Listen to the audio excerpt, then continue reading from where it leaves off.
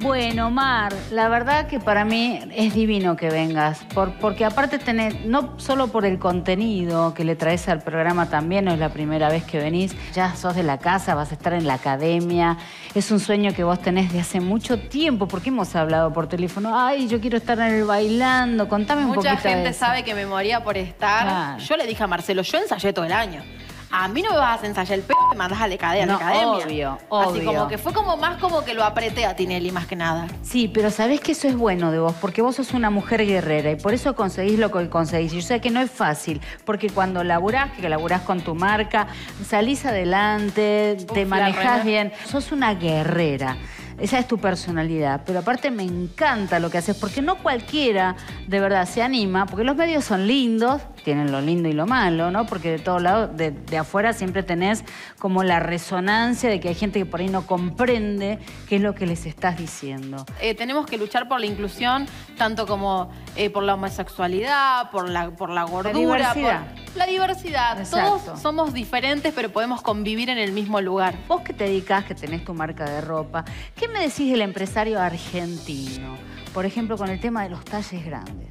Primero, hemos visto en un montón de marcas, y eso es como que se sabe a viva voz, de que hay muchísimas marcas que tienen una cierta categoría, prestigio, que no quieren ensuciar sus marcas poniendo figuras de chicas gorditas, Totalmente. porque sería como que la marca va a pasar a ser burlada o Sí, va a ser sí. bizarra, ¿no? No sí, así pasa con marcas internacionales, ya hemos visto, ¿puedo nombrar una marca internacional o no? ¿Nombrás, sí? En Calvin Klein, por ejemplo, pusieron una modelo gorda, trans y negra.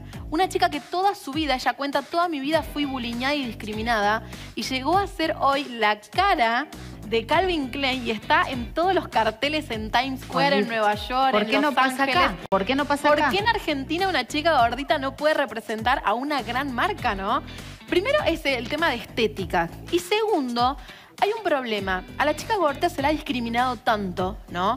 Y ha sufrido tanto con el tema de su cuerpo que la realidad es que muchas terminan cayendo en la ropa negra, en la ropa tipo Carpac. Entonces hay un montón de diseños que no se animan a usar.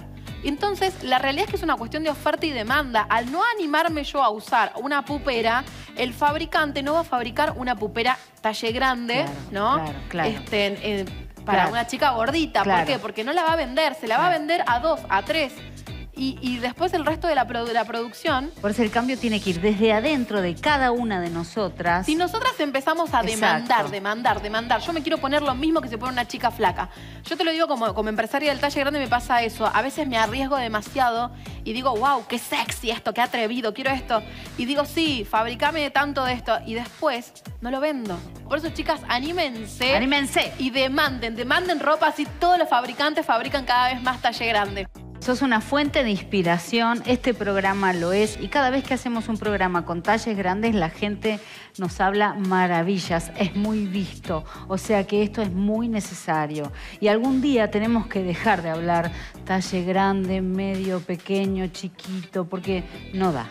Y me gusta que digas bien, talles grandes y no talles especiales. Claro. Porque eso ya quedó antiguo. Bueno, yo quiero que nuestros participantes, que son famosos, que son tan queridos por el público, estén a la altura. Porque hoy para ellos es un desafío que sé que se van a comprometer y con el corazón.